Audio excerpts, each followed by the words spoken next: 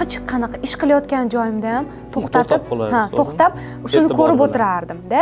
И manga yoqardi bu narsa. Va yana aytaman maqom xoslar uchun. Uni hamma ham eshitmaydi. Chunki olloh bir narsani sizdan oldimi? Bir narsani beradi. Man davlat mukofoti olib tadbirlarda faol bo'lib yutuqlarga erishib man unaqa ko'p foyda topmaganman va mani shoxim ham chiqmagan. Qiz bola uchun birinchi navbatda uni oilasi turadi birinchi o'rinda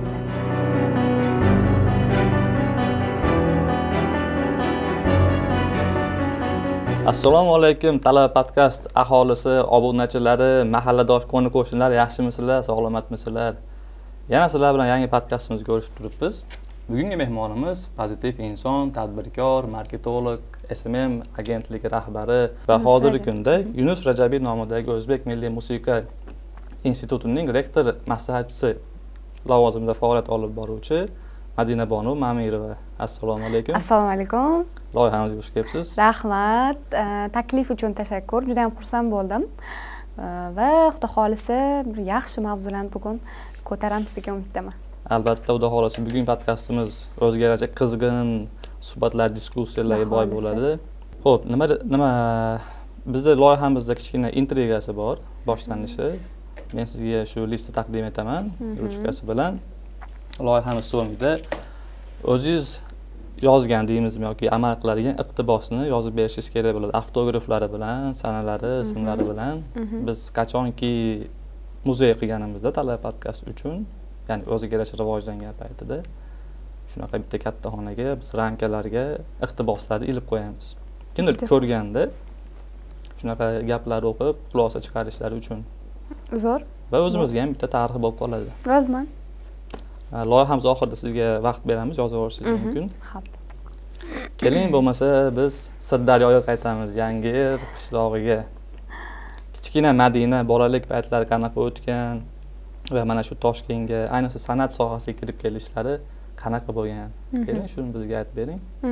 Va albatta shu kungacha erishgan yutuqlaringiz va talabalik hayot haqida gaplashamiz. Xo'p. Bilasizmi nima? Э, Har doim syomkalarga borganda o'zi э, so'rashadi. Madinani yoshligi qanaqa bo'lgan? yoki Madina Mamirova yoshlikda o'zi qanaqa bo'lgan degan savollar bilan berishadi-da. Э, Hamma qatori oddiy qiz. Qishloqda o'sgan. Sirdaryoni cho'llarida loylarida kezib, Mhm. Э, tikonzorlarda bosib o'tib katta bo'lgan qishloq qiziman. Sirdaryo viloyati yangiyer shahrida tavallud topganman. Mm, э, ota onam san'at sohasidagi qiziqqanligim bois mani o'sha sirdaryo viloyati yangiyer shahridagi э, musiqa va san'at maktabiga o'qishga olib borganda o'zim san'at sohasida maqom yo'nalishida mana э, xudo xohlasa o'n to'rt yildan beri ijod qilib kelaman. O'n to'rt yil. Hmm. Bitta kichkina chaqaloq sakkizinchi sinf bo'lar ekan ha shunday xuddi shunday. O'n to'rt yillik umrim mehnatim. Judayam mm, mashaqqatlarga boy kechgan. Oson bo'lmagan bu darajaga bu vaqtga yetib kelish.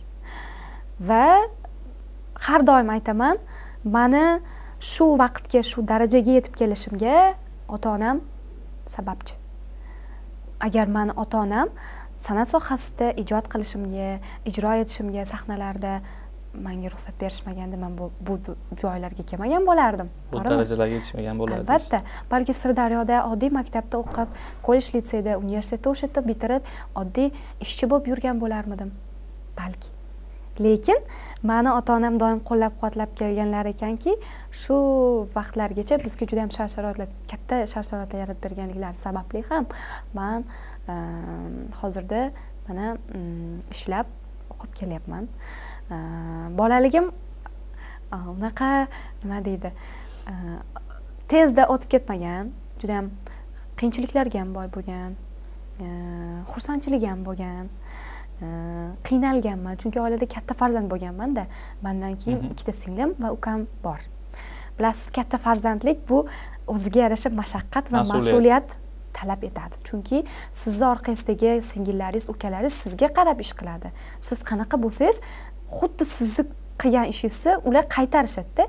O'shaning uchun manga onam rosa ham ko'p aytardilar. Ehm, nima ehtiyot bo'lib ish qil. Nimaniki qilsang o'ylab ish qil. Nimaiki qayergadir oyog'ingni tashlasang o'ylab tashla. O'ylab gapir o'ylab yur. Chunki sani orqangdan yuradigan ukalaring singillaring sanga qarab ketadi. Sendan o'rnak olishadi. Albatta o'rnak oladi. Shu sababli e, doim mas'uliyat yelkamda bo'lgan. E, o'sha ukalarim singillarim bilan birga ulg'aydik. E, ota onamga ming rahmat aytaman hozirgacha. Chunki doim hammamiz nafaqat mani balki ukalarim singillarimni ham qarashlarini fikrlarini qo'llab quvvatlashgan qiziqishlarini qo'llab quvvatlashgan. Oilamizda san'atkorlar yo'q. O'zim san'at sohasiga e, kirib qolganman. Birinchi o'zingiz oila a'zolaridan albatta birinchi vakilman. Mm, ukam singillarim ham hech biri san'at sohasidan ketishmagan. Lekin manda e, alloh bergan iste'dod bor ekan harakat va mehnatlarim orqali e, san'at sohasida mana hozirgacha faoliyat olib borib ham ijro ham ijroda ham ilmda bardavom bo'lib kelyapman. Zo'r shu bitta savol keldi. Mhm. masalan bolalik paytlaringizda shu maktab musiqa maktabiga borguningizgacha o'zida talant bo'lib misol likopchani olib deb qo'shiq aytib yurganmisiz? yo shunchaki misol o'zi kirganmisiz yoki ota onangiz shu yerda o'qib ko'rchi deganmi? Yo'q unaqa bo'lmagan. Chunki man ota onamga o'zim borib taklif berganman. Manda e, televideniya e, radio orqali mana ijrolar bo'lganda shunday hech qanaqa ish qilayotgan joyimda ham to'xtatib ha to'xtab shuni ko'rib o'tirardimda. И manga yoqardi bu narsa. Judayam man qiziqib ko'rardim shu narsalarni. Shu sababli manga e, o'tgan deb o'ylayman. Keyin bolalikdan o'zi mm, chaqaloqlik paytimda ham juda yig'loq bo'lganman. Ha bilinadi bilinadi. bu o'shandan ham balki o'tgandir deb o'ylayman bilmasam endi. Yig'layotgan paytlaringiz ovoz pardalar ochilib. Shu paytda anaqa mo'jiza yuz berib maqomga o'tib ketgan bo'lsangiz kerak edi bilmadim endi. Balkim yig'layotgan jarayonlarda maqomni aytib ha bo'lishi mumkin. Xorazmlardan berib. Zo'r gap so'z yo'q. Hop o'zi masalan toshkentga keldingiz talaba bo'lib. Mana turli xil tanlovlar yutgansiz to'g'rimi? Hmm. boshqa davlatlarga. O'zi umuman maqom yo'nalishida o'qigansiz. Hmm. maqom juda yam qiyin soha. Meni hmm. bilishim bo'yicha endi men o'qimaganman bu sohada endi biz ham yoshligimizda qiziqqanmiz masalan. Zerikkan paytda telefon yo'q televizorda ko'rasizda hamma narsani. Ba'zi paytlarda haligi og'ir muzikalarni ham eshitib hozirgacha masalan moshinada ketayotgan bo'lsam akalarimizni moshinasida endi ular zamonaviy qo'shiqlar eshitsa men ba'zida shu tononon ton ton deb haligi ruboblar g'ijjaylar esa bunday qarab turib og'ir muzika endi deyishadida ha xuddi shunday. Maqom sohasi sizga yoqadimi va buni o'zlashtirish qay darajada qiyin bo'lgan sizga? Mhm. judayam zo'r savol. Maqom bilasizmi? Nima bu ilohiy ishq bilan bog'liq bo'lgan faqat ungagina yetib borishga bo'lgan yo'lning bir debochasi unga hamma ham nima desam his qila olmaydi to'g'rimi albatta albatta. Maqom xoslarga xosdir. Uni xoslar eshita oladi maqom? Maqom eshitgan odam insonni ichki tuyg'ulari junbushga kela boshlaydi. Bu bu bilan endi bu san'at sohasidada o'zi sohasida o'zini sohasida maqtayaptida degan bo'lishlari mumkin. Lekin hozirgi yoshlardan kelib chiqqan holda aytyapmanda mhm. hamma ham bu ashulani eshitishga e, kuch topa olmaydi. Hamma ham eshitmaydi. Miyasi ko'tara olmaydi. Albatta albatta. Chunki bu xoslarniki maqomni bilsangiz agar u g'azallardan iborat. G'azallar asosida ijro etiladi to'g'rimi? G'azallarchi to'g'ridan to'g'ri qayerga olib boriladi bu yo'l? Albatta ollohni jamoliga ko'rishlik yo'lidagi yo'lga olib boriladida. Xuddi maqomlar ham xuddi shunday.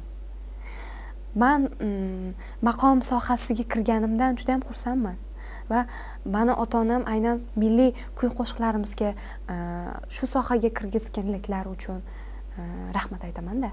Chunki boshqa sohada masalan estrada ijro et yoki skripka chal yoki fortepiano chal deyishlari ham mumkin ediku. Lekin yo'q aynan musiqa san'at maktabida man milliy qo'shiqchilikda o'qigan bo'lsam guliston san'at kollejida man estrada fakultetida o'qiganman. Negaki bizni viloyatimizda aynan maqom ijrochilari yo'q bo'lgan. Hozir mana institutni yunus rajabiy nomidagi o'zbek milliy musiqa san'ati institutini to'rt yil mobaynida maqom xonandalik yo'nalishida o'qib bitirdim. Va hozir shu yerda faoliyat olib boryapman. Bu bu menga juda yam katta faxr aslida. Chunki ustozlarim bilan birgalikda bitta safda ishlash bu hammaga ham emasda. To'ppa to'g'ri. O'shaning uchun man xursand bo'laman doim.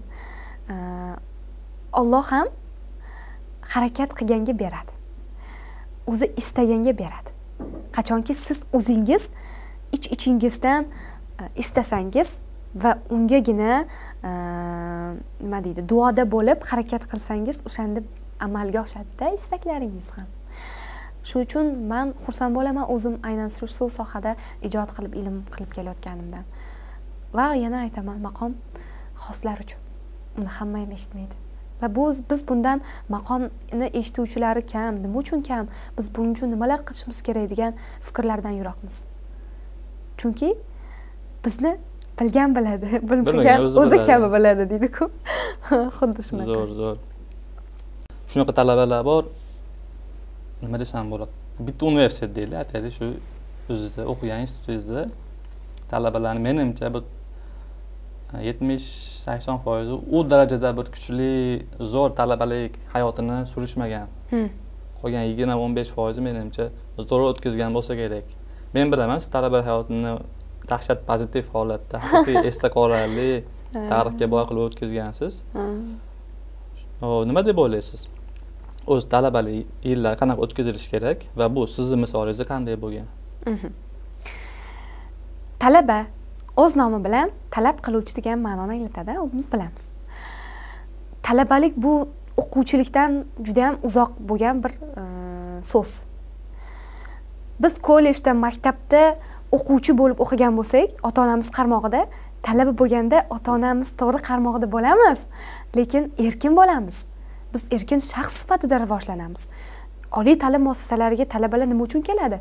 Ilm olish uchun keladi. Talabalikda Э, qiyinchilik ham bo'ladi. Э, yutuqlar davri bo'ladi. Umuman nolga tushib ketayotgan paytlar bo'lishi mumkin har qanday vaziyatda. Э, man ham to'rt yilim shunaqa zo'r o'tgan deya olmayman. Manda ham birinchi kursga kelganimda yangi bitirib kelgan o'quvchi bo'lasiz va talabalikka kirgan bo'lasiz. Birinchi kurs talabalari hech narsani qayerda nima turishini qaysi xona nimada kim qanaqa ustoz qanaqa dars o'tadi qaysi ustoz zo'r bilmaydiku. Va katta kurslardan so'ray boshlaydi. Yoki o'zi dars jarayonlari orqali bilib boradi to'g'rimi? Qaysi ustoz bova mana bu ustoz zo'r o'tar ekan mana ustozni o'zi bilimi yo'q ekan. Masalan mani ustozi manga yetkazib bera olmadi deb o'zi uchun bir shaxsiy fikrlarga ega bo'ladi to'g'rimi? Och qolib ketgan paytlari bo'ladi. Stipendiyadan chopilgan paytlari bo'lishi mumkin. Masalan hozir endi xemis tizimlari joriy etildi mm, kredit modul tizimlariga o'tdi. Endi bu bu safar biroz qiyin hozirgi talabalarga. Bizga osonroq bo'lgan ha endi biz o'qiyotgan talab vaqti qiyinchilik ham bo'lgan. Nega deng? Institutni mm, kollej litseyni bitirib kirib institutga kirgan vaqtimiz e, karantinga to'g'ri kelib qolganmiz. Olti oy o'qiganmiz o'sha olti oy o'qib yettinchi oy yarmidan karantin karantinga o'tib ketganmiz. Eng qizig'i stipendiyalar o'sha paytlarda mm, biz kirmasimizdan oldin nechiga o'qisa nechi pul berilardi. biz kirishimiz bilan bir xil. bir xilga tushib qoldi. Вот bu ham masalan qaysidir ma'noda belgida lekin bunaqa bo'lishi kerak emas. To'g'ri lekin o'rtasida уже beshga yopganlarga yuz ming so'm qo'shib berilishi kerak haqida telefon nimalar keldiyu? to'g'ri lekin bu ham qaysi ma'noda sarguzashtli kunlarda yillar oylar talabalar bir birini ko'radi. Hamma viloyatlardan kelgan talabalar bir biri bilan tanishadi. hamma bir xil holatda bo'ladi unaqa paytda. Chunki ko'p sonli viloyatdan kelishadiyu bir hmm. birini tushunadi biladi. Hmm. xuddi shunday. Shuna pul tur desa menda yo'q desa bo'pti nima olib tur? Bugun nima yeymiz bugun osh yeymiz tepasiga varoqqa go'sht deb yozib qo'yamiz. Qani go'sht? Desa mana go'sht. Xuddi shunday. O'sha talabalikdagi ahilchilik o'sha narsaga yetadigan narsa yo'q. judayam bu man bu fikrga judayam qo'shilaman ming yoshingiz katta bo'lib hmm. ulg'ayganingizda yoshingiz qariganda ham esda qolarli bo'ladi. Hmm, xuddi shunday. Va mani ham manda ham shunaqa narsalar bo'lgan. Hech qaysi talaba yotoqxonada turmaganman deyish kerak emas. Yotoqxonada turmagan talaba talaba emas deymanda man ham birinchi kursligimda o'sha karantin davrigacha yotoqxonada turganman. Hayotim davomida ko'p qavatli uylarda umuman turmaganman. Man qishloqda erkin katta hovlilarda katta bo'lgan albatta ha. Yerlarda ekinlar ekib chopib yerlarda o'choqlarda ovqatlar qilib katta hovlilarda uylarni supurib yurgan qiz bo'lganman. xuddi shunday ha. Ha. Endi tasavvur qiling shunaqa katta joylarda erkinlikda yashayotgan qiz ko'p qavatli uyga borib bitta xonada uchta qiz bilan turib qolsada qanaqa bo'ladi to'rt burchag'ini ichga chiq- chiqa olmaysiz misol har shu xonaga kirasiz kayf bo'lsangiz ham zerikadi odam Mhm. juda juda zerikarli bo'lgan va man mani ichim siqilib ketib qolgan. Voy voy shu talabalik shunaqami deganmanda chunki man bunaqa narsa kutmaganman hech qachon. Mani Da. tasavvurimda vau zo'r joylar bo'lsa kerak o'qishda joy. deb uch o'ylaganman yulduzli mehmonxonalar keyin chuchvarani ham sanabman Mm, u yerda endi bilasiz hamma bilan kelishib yashash kerak muammolar ham bo'lib turadi. Muammo juda yam ko'p bo'lardi Ayniqsa qiz bolalar ko'p bo'lsa kerak. albatta.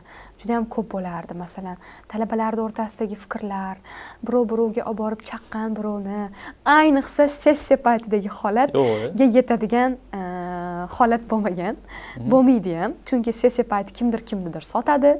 Nimaga unga to'rt nimaga manga uch nimaga unga besh manga uch qo'ydingiz yoki to'rt qo'ydingiz. Man shu bilan birga kelganmanku darsga man shu bilan birga o'qiganmanku. Bu nima aytsin? Man ham shu shuni aytib berganman. Nimaga bunga besh qo'ydingiz? Manga to'rt qo'ydingiz degan holatlargacha kelganmizda. Вот o'sha narsalar odamni kimligini anglaydi anglatadi. Siz talabalikda e, kimni o'zingiz uchun siz uni asl yuzini ko'rmagan holatingizda o'zingiz tarafdan ko'rgan narsalaringizda ko'rasizku. Lekin shunday vaziyatlar bo'ladi shu odamlarni yuzi ochila boshlaydida shu holatlar sizni yanada o'zingiz ustingizda ishlashingizga. Qanaqa ehm, joylarda o'zingizni qanday tutishingizga olib keladigan vaziyatlar bo'ladi. Bu albatta zo'r vaziyat. Hamma vaziyatda odam o'zini anglaydigan bir hislar bo'ladi holatlar bo'ladi. Bu albatta ehm, insonni o'zi uchun foyda. Shu sababli ham man ehm, talabalikda ko'p narsalarga duch kelganman. Hmm, vaqti kelsa pulsiz qolib ketgan vaqtlarim bo'lgan. Vaqti kelsa stipendiyani kutib yashagan vaqtlarim bo'lgan. Ha, bu eng asosiy joylardan biri. e, har doim beshga yopishim kerak yaxshi o'qishim kerak degan narsa miyamda qolgan. Man lekin yaxshi o'qidim talabalik paytimda. Man beshga yopardim. Beshga yopsam ham shu olti yuz o'n o'n ming o'n besh minglar olardim va u judayam tez yo'q bo'lib qolardi tez tugab ketardi. Ayniqsa sizlar tushunamiz shunday yo'q qolamiz bir kunda. Xuddi shunday bir kunda yo'q bo'lib ketardi. Mm, qanaqadir kiyim olgimiz kelib qolardi yoki yeb ichishli kunlar bo'lardi shunday o'tib ketardi. Muvaffaqiyatli kunlar ham bo'lgan muvaffaqiyatsiz kunlar ham bo'lgan. Mm.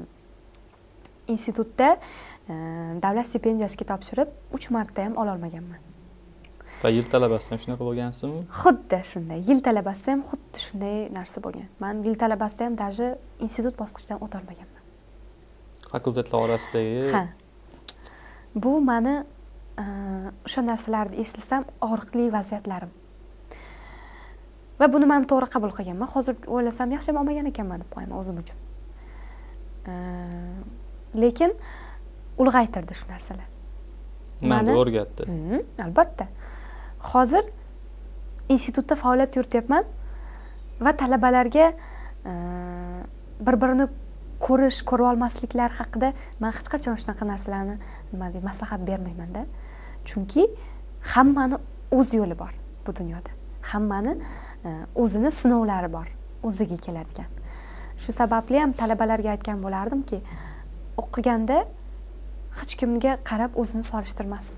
Raqobatdoshlik qilib taqqoslab. Kerak emas unaqa. O'zi uchun o'qisin o'zi uchun zo'r bo'lsin o'zi uchun yutuqlarga erishsin bo'ldi. Lekin ba'zi oliy ta'lim muassasalarida umuman olganda hamma oliy ta'lim muassasalarida bor bu narsa. Bor. Shu sababli mm, nima deydi? Shu og'riqli narsalarimni o'ylab mm, ba'zan o'yga tolib qolaman. Lekin hech ham xafa bo'lmayman chunki mani mm, bu narsalarni ololmasligim ziyo forum bilan bo'lgan yaxshi bir yangi yangiliklarga sababchi bo'lgan. Va man yuzta talaba almanax ziyolilar almanaxiga a'zo bo'lganman. Mani qahramon qilib olishganda bu programmaga bu loyihaga hamma ham ishtirok etolmaydi masalan.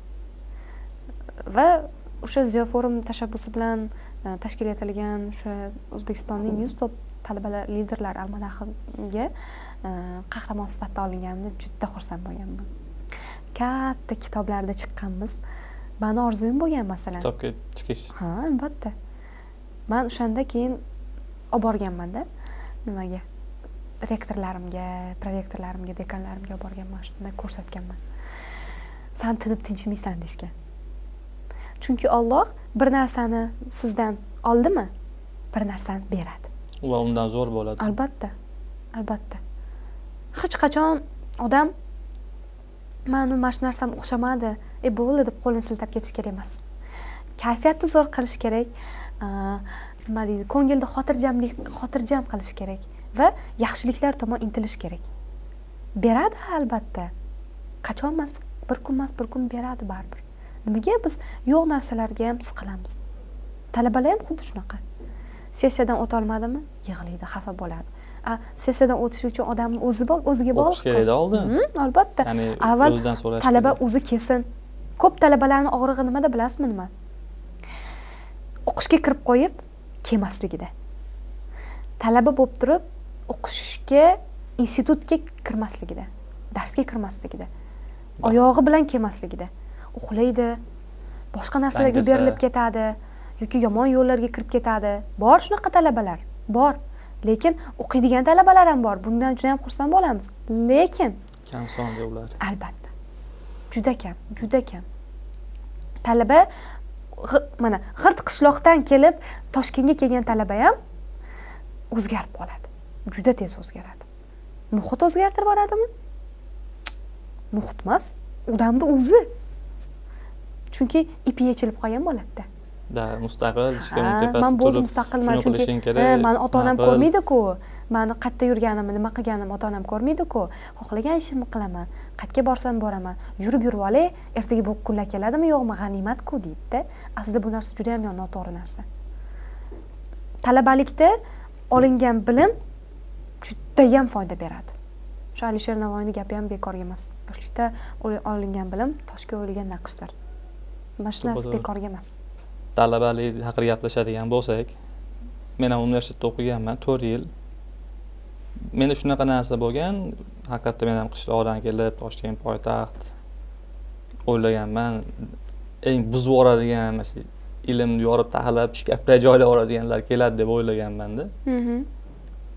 Bizni katta sahnaga joylashgan anaqa nima deydi majlis bo'lgan bizga Mhm. примерно uch yuz kishiga o'zimiz kuratorlarimiz xonalarga olib chiqib ketishgan tepaga.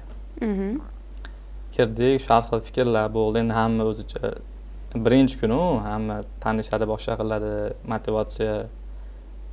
Uch kundan keyin qarasangiz o'sha boshlandida darslar hech kim kelmaydi bir misol networkingda discussionlar bo'ladiyu. Bizni litseyda discussion ko'p bo'lardi. Masalan Mhm. ikkalamiz bo'lsak ham bir temani shuni o'rtaga tashlab turib ketdi. Vojir vojir vojir vojir shu sen manaqa sen manaqa noto'g'ri gaping ular nimadir diskussiya bo'lardida. Shunday kirganmanda hech narsa yo'qda. Studentlar просто jim o'qituvchilar ba'zilari gapiradi ba'zilari unaqa misol gapirmaydi ham. Hattoki endi men yil talabasi bo'lganman. Ikkinchi uchinchi kursdami shunaqa. Yil talabasidan keyin bizda yana katta majlis bo'lgan lektorium bo'lgan katta zalimiz tushadigan dekanimiz kirdi. Hmm. yana qanaqadir xodimlarda yosh katta xodimlar. Qanaqa takliflaringlar bor nima yechib beraylik muammolar bormi deb bir narsa deb gapirishyapti. Hech kim turgani yo'qda. Ha senlarga qarab tur dedim shart o'rnimdan turdim nima bo'lsa bo'ldi deb. Mana shunaqa muammo dedim talabalarga ham gapirdim. Sizlar qaysi biringlar bir zo'r proyekt bilan chiqqansizlar? Qayerda bir biz biz eng qulay fakultet bo'lganmizda hech kim bunaqa aktiv emas edi. Qolgan fakultetlar hech bo'lmaganda bir tadbir qilishib Hmm. samarqand buxoro haligi viloyatlarga borishardi biz hatto shunga ham bormaganmizda. Biz o'sha boshqa fakultet borayotgan talabalar avtobus chiqib olib borganmiz. Hmm. gruppadoshlar boshqalar yig'ilish juda qiyin bo'lgan. U ilmu mayli bir joyda tursin. Просто biror joyga aylanib xotira qilib shunaqa narsalar bo'lmaganda shundan xafa bo'lganman. Men ya'ni nima просто to'rt yil shunga berib yuboryapmanmi deb. Endi tashlab chiqarsam bo'lardi. U paytda men chet elga ketmoqchi bo'lganman karantin paytlariga. To'g'ri kelib qolgan shu moment. Ketolmaysizu karantin. Уже ikki ming yigirma ikkinchi yil tugagan bo'lgan taqdirda ham baribir yana davom bor edi. Ya'ni talabalar shunchaki kelib ketishardi qaysidir qizni gapirayotgani yoki qaysidir qiz qaysidir bola bilan gaplashgani ko'rishgani yoki ovqatlangani. Unaqa menda qiziqarli bo'lmagan. Shuning uchun aytaman bu odamni o'ziga bog'liq masala. Juda to'g'ri. Bu narsa man shu narsaga uzr fikrsiz bo'lib qolgan bo'lsam man shu narsaga bitta narsaga yana amin bo'lamanda har doim. Talabani o'ziga o'zi hamma vaziyatlarda nimalar bo'lsa odamni o'ziga bog'liqda hamma narsa xuddi shunaqa talabalikda ham talabalik onlarini zo'r o'tkazish odamni o'ziga bog'liq. Talabalar shunchaki kelib ketadigan talaba bor. Lekin kelib nimadir o'zi uchun o'rganib ketadigan talaba bor.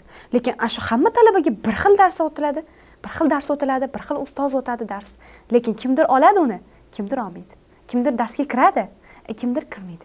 Kimdir o'ynash uchun keladi institutga kimdir esa bilim olish uchun keladi. Ana o'shaning uchun narsada lekin keyin kadrlarimiz qanaqa bo'lib chiqadi? Nol. Nol. Eng qizig'i nol. nolligiyu mayli diplomi ham bor. U hmm. masalan bu ishga kirmayman deydi. Nimaga desa oyligi past deydi.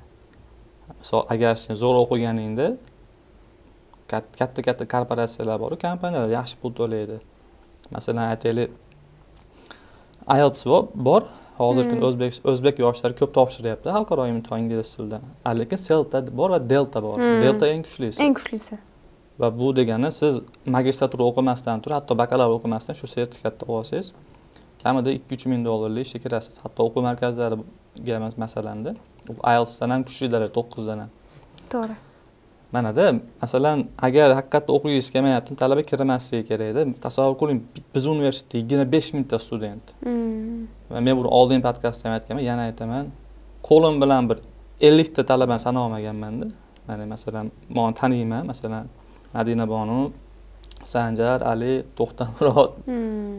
unaqa talabalar yo'q. Shu bor faqat tadbirchilar. She'r aytadi qo'shiq aytadi gitara chalishadi. U studentni zo'r degani emasda u. To'g'ri va men kim bilan gaplashishni kim bilan fikr almashishni bilmaganman. Topolmaganman hmm. chunki.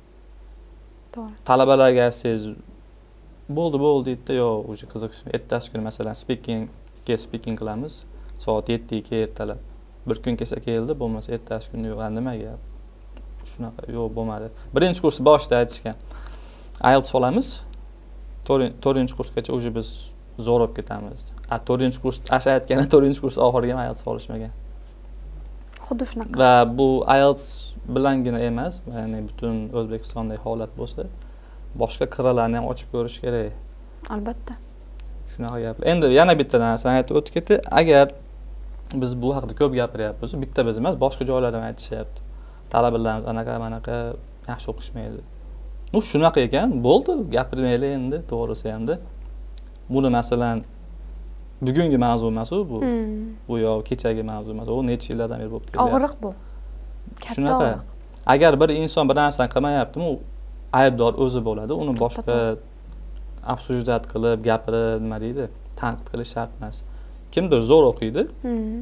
va u o'sha natijalarga erishadi. Masalan meni parallel e, fakultetdagi kursdoshlarim bor hozir elektrokarlar minishadi.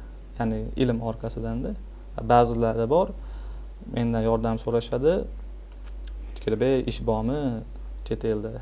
Endi men hmm. ko'proq researcherman. Shunaqa ishlar bo'lsa tashlab turaman studentlar ko'p hmm. o'g'il bolalarga. Hmm. o'g'il bolalar yozishadi. Misol yaxshi ish bormikin dubay saudiyalarda borib boshqa qilasiz deydi. Ha bor bor aka deb tashlab beraman yoki firmalar nomerini beraman.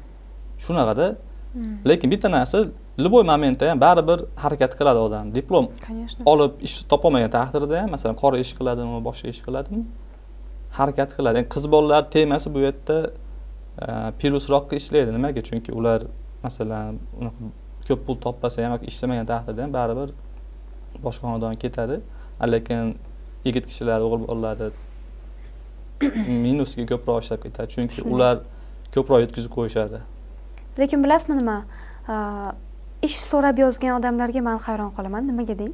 Nimaga? Ilm olgan inson o'qigan odam hech qachon ishsiz qolmaydi. Keyin hozirgi o'zbekiston fuqarolarini boshqa davlatlarga migrant bo'lib ketishlarichi masalan. Agar rostdan ilmi bo'lib qo'lida hunari bo'lgan odam hech qachon o'zbekistondan tashqariga chiqib qolib ketmaydi ishsizlikda. O'zbekistonda ish yo'q o'zbekistonda oylik kam degan narsalar juda safsata ish bor ishlasa ko'niksa o'shanga chidasa. Ozgina sabr qilishi sabr qilsa albatta undangina so'rasa ollohdan so'rasa beradida hammani rizqi borku. Lekin odamlar shunchaki shunchalik darajada dangasa bo'lib ketgan qo'lini borib shunday sovuq suvga urishga botinadi. Chunki manada jadallashuv mana shu internet olam bunga sababchi bo'lib qo'yganda chunki internetda hozir eng puli yo'q odam ham telefoni boru interneti megabayti bor instagrami bor kiradida ko'radi. Qaysidir odam tanishi yoki bir mashhur inson zo'r joylarda samolyotlarda qimmat moshinalarda zo'r zo'r mehmonxonalarda yuradida u qaysidir ma'noda oson pul topish yo'llarini qidirishadi. Masalan hozir ko'pchilik yoshlarimiz haligi onlayn qimor shundan katta Har xil yo'llarga kirib ketyapti. shunaqa endi bitta narsa hammani inson ilm olib bir professor bo'lib bir haligi koinot kashfkori haligi nima deydi izlanuvchi inson bo'lmaydi raketalar yaratib. Oddiy masalan novvoymi? Novvoy bo'lsa ho'p bitta mana shunaqa xonang bor. Bitta tandiring bor. Kuniga ikki yuzta non yopasan besh mingdan sotsang bir million so'm pul. Ho'p bir yil o'tdi shu tandiringni ikkita qilasan yoningga shogird olasanda. Shogirdga kunlik pul berasan qolgan pul o'zingga qoladi. Shunday. Yana bir yil o'tdi ikkita xona olding. Shundan keyin уже biznesga aylanib ketadi. Keyinchalik e, yangicha non turlari masalan qo'qon. Qo'qonda aytamiz biz vodiyda qo'qonda qo'qon patir bor.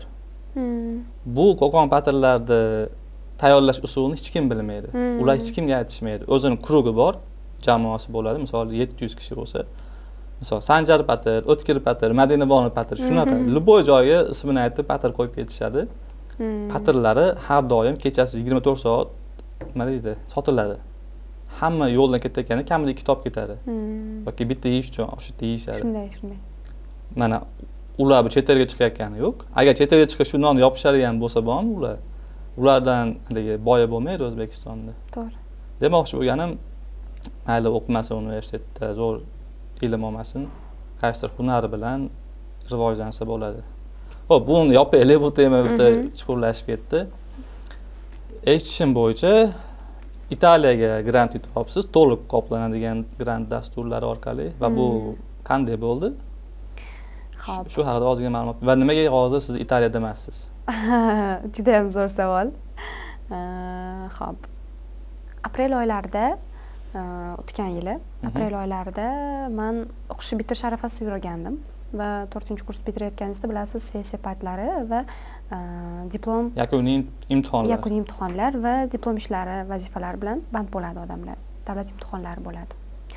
Xuddi shu vaziyatlarda uh, aynan bahor oylariga kelib bahorlarga shu kelib uh, har xil universitetlar yevropalardagi ko'p universitetlarga qabul ochiq bo'ladida va man ham qiziqib topshirdim italiyaning tirento universiteti arts and humanities fakultetiga xalqaro madaniy aloqalar ya'ni international cultural relations yo'nalishiga o'qishga topshirdim hujjat topshirdim va bu narsani o'zimga juda qattiq olmadim chunki juda ko'p narsalarni vaziyatlarda o'zimga qattiq olsam o'xshamay qoladi. Просто o'qishga topshirdim bo'ldi все o'qishga. topshirdim. O'sha applicationlarda nimalar so'ralgan bo'lsa hammasini qildim.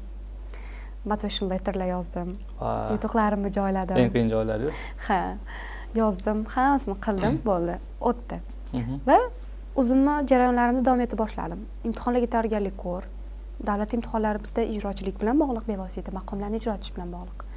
Shularni o'rgan tayyorlan ish yuzasida manga emailimga xat keldi. Tabriklaymiz. Siz tirent universitetini arts and humanities fakultetiga e, birinchi bosqichidan o'tdingiz deyapti. Unga ham sizdan taklif qilindingiz demayapti. Ha demak intervyu bora intervyu birinchi bosqichdan o'tdingiz. Endi sizni palonchi kuni palonchi joyda mana shunaqa zoomda e, to'g'ridan to'g'ri face to face e, Suhbat. suhbatga taklif etamiz man qo'rqdim. Vau nima bo'larligini vau bu zo'r man uchun. Plyus lekin ikkinchi etapi bor edi. ikkinchi tarafi bor ekan. Ha. Qanaqa bo'ladi? Man masalan grantlar bilan shug'ullanib yurgan od- odam emasman. Hech qachon man grantlar bu xalqaro grantlar yuzasidan bironta Tajribangiz. tajribaga ega emasman va shunchaki e, bo'pti xo'p dedimda o'sha kunni kutdim. Oynaga qarab o'zim bilan o'zim suhbatlashdim. Inglizcha hello mister mrs masalan miss. I am from uzbekistan. Uh, i am madina bonu mamirova tipa shunaqa gap so'zlarga tayyorgarlik ko'rishni boshladim. Keyin uh, kompyuterda yuzma yuz suhbat bo'ldi. Mm, to'g'ridan to'g'ri. Va u so'rayapti uh, san ijrochimisan? Ha man aynan o'zbekistondagi o'zbek milliy xalqini maqomlarini ijro etadigan uh, i am classical singer dedim. Mhm. I'm traditional classical singer dedim keyin o dedi unga qiziq. Chunki ularda italiyani vatani bilasiz opera. Opera. Ha ularga qiziq. Ha dedi. Keyin "A, sani dedi agar biz olsak dedi mm, san bizga nimalar qilib bera olasan dedi. Shunaqa savol beradiku. Da qanaqa foydang bor bizga? Ha man aytdimki "A, agar dedim mani olsanglar dedim balki dedim biz yangi san'at turini kashf etishimiz mumkindir. Yangicha yo'nalish. Yo'nalish bu bilan endi opera bilan maqomni qo'shib tashlash niyatim ham yo'q. Shunchaki yangi bir e, e, yo'nalishni kashf etish maqsadida shunaqa taklif berdim. Seni dedi biz olganimizdan keyin dedi o'sha yerda qolish niyating bormi? O'zbekistonga qaytib ishlaysanmi? Dedi. Yo'q dedim. Man qolaman. E, toshkentga qaytaman. То есть toshkentga qaytib mm, italiyada o'rgangan narsalarimni toshkentda tatbiq etmoqchiman. Va yangicha fikrlash bilan qaytaman. Chunki bizani yo'nalishda aynan san'at madaniyat yo'nalishida ijrochilar bor. Lekin madaniy aloqalar bilan xalqaro yo'nalishda yo'q. Ularni hali unchalik tajribasi yo'q. Bu e, xalqaro darajada. Dedim. Zo'r dedi. Xursandman tanishganimdan san bilan dedi. "Aa, javobimizni kut dedi. Ho'p dedim. Va bo'ldi. Shundan keyin boshqa eslamadim. Nima bo'ldi? Qayerda bo'ladi nimalar bo'ladi endi voy olmasachi voy olsa nima qilaman ketamanmi degan narsalar o'tmadi. Xavotirlanish yo'q. Yo'q. Yana har doimgidek tayyorgarlikni boshladim. Bir payt qarasam mayni o'rtasida man emailimga xat keldi. Hmm, congratulations dear madina. Sizni tabriklayman. Institutimiz trent universiteti sizni tabriklaydi sizga shu yo'nalishga to'liq grant asosida o'qishga taklif etilganingizni bildiramiz deyaptida. Va man ko'zimga ishonmayapman. Qanaqasiga? Voy man shu menga ham shu ha man rostdan to'liq grant bilan italiyaga o'qishga kirdimmi? Vau rosa xursand bo'lganman. Chunki e, va ular menga uch yillik shartnoma jo'natishgan ikki yil bitta magistraturada o'qish Mhm. plyus bir yil internship bor. Amaliyot. Albatta. Qarang bu imkoniyat menga hech qachon ham berilmasdi va qaysidir vaqtda bir marta berildida bu narsa. Va juda ham xursand bo'lganman. Va o'sha tarafdan juda quvonib ketganman va ota onamga aytganman. Mm, ular ham juda ham xu- xursand bo'lishgan. Конечно to'liq grantda o'qishga qabul Hamma xarajatlar qoplansa. ha nimaga siz masalan bormas ekansiz? Va oradan bir necha kunlar o'tib diskussiyalar boshlandi. Ha uyimdagilar ruxsat berishmagan nega nega degan savol tug'iladi.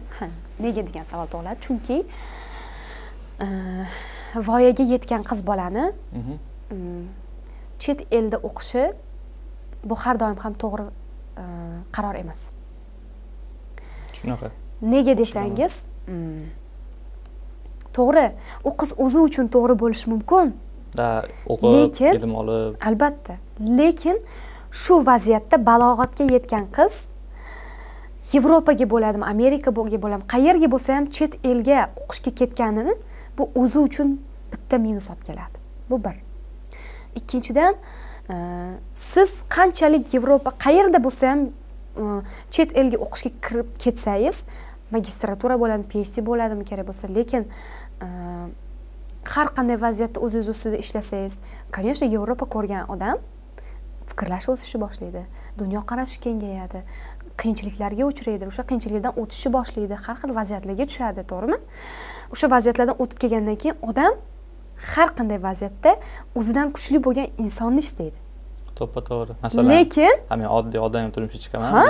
ha xuddi shunday. Mendan past bu deyapti ha xuddi shunday. Bor narsa bu bu. yuz foiz haqiqat narsa. Albatta. любой qizdan so'rasangiz albatta. da da uchta da deydi. Xuddi shunday mani e, xarajatlarimni qoplay oladimi shu odam masalan?